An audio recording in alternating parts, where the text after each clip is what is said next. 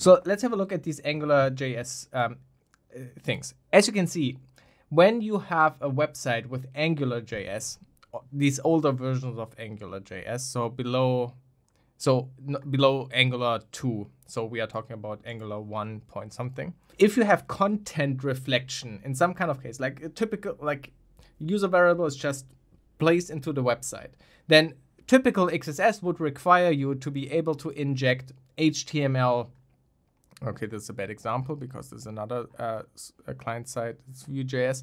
Um, it, it, requires you to be able to inject HTML characters, like these HTML tags, the the the pointy brackets and, and so forth, right?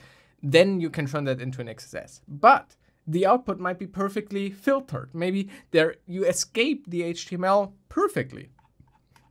But then you use a, a client-side language like AngularJS, which now you know, when AngularJS executes, it basically goes over your whole HTML code and is looking for curly braces. And when it finds curly braces, it does something to it.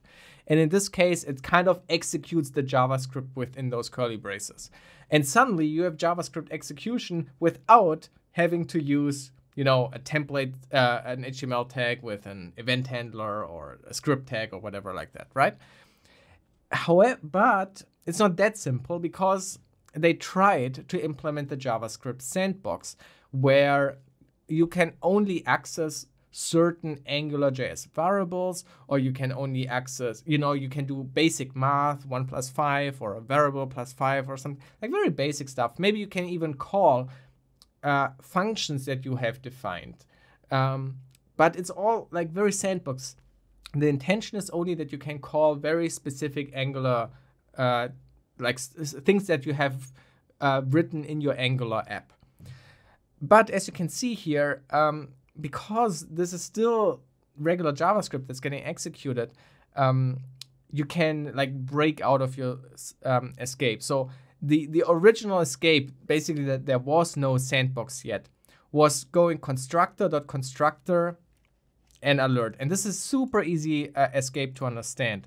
So if you imagine that there's an Angular object, can I, can I make this larger? When you add Angular to your website, the Angular script, uh, you can imagine that there, I, I, am not so sure if, if it's called Angular, but you can imagine that there's an Angular object, right? Like that exists. And now when you write curly braces like this, Angular would turn whatever you write in those curly braces into um, into a variable. So let's say on the Angular object is a variable called ASD. And, and now you write code that what whatever is in the curly braces um, is printed. And if, if it's a variable that exists like ASD, it gets printed.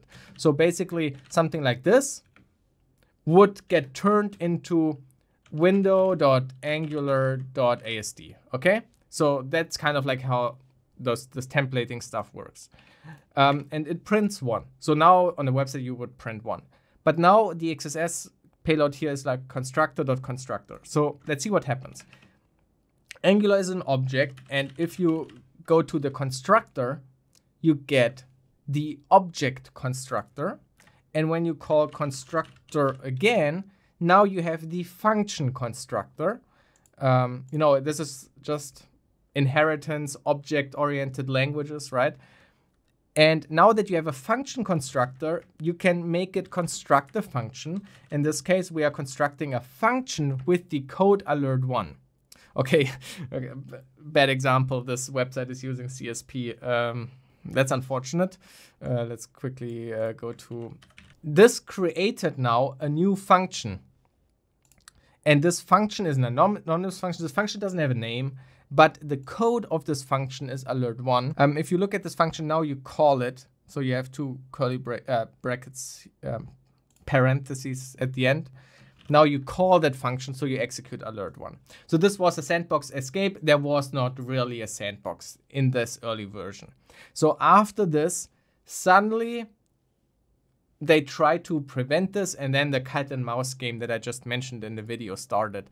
Now they really try to clean this code um, in order so, so they tried to that you can't access the constructor but i guess their first fix you could do, still get the constructor on this on function and get the constructor from there.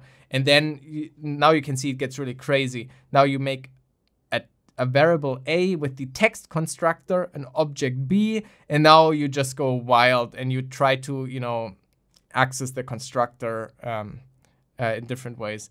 This one is interesting because actually in AngularJS, um, this code is kind of assembled in text and then placed in like a, an eval script. And this simply was a bypass of that part. Um, it gets injected into that text and then it gets eval. So you break out there. That's so this is a bit more interesting. Oh, different, a different strategy of sandbox escape than these ones here. Anyway, this went this went crazy. Look at this, how crazy these things were because AngularJS always tried to fix again ways how people got access to the constructor or people got access to eval and so forth. Uh, look at this, look at this one, Jan Horn, crazy. Um, yeah, but since 1.6, they decided, fuck it, this is too hard, this makes no sense. Let's remove the sandbox at all. Uh, let's completely remove the sandbox. Um, and so now you are back to the beginning where there is basically no sandbox. This is not really a sandbox. This is just using JavaScript.